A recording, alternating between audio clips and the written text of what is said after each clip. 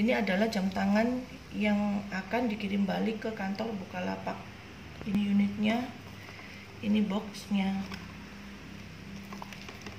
Buku petunjuk dan chargernya. Ini perlengkapannya semua. Biar aman kita masukin ke plastiknya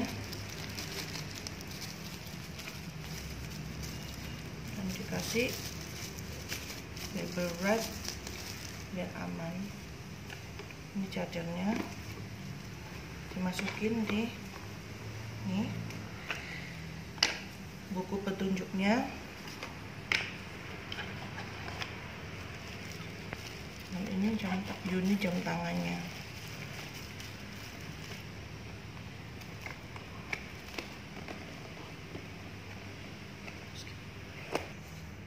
kemudian untuk packingnya kita tambahin kardus tambahan biar safety.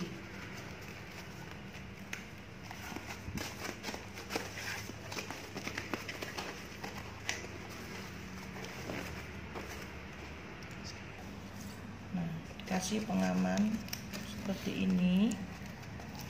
Kemudian tutup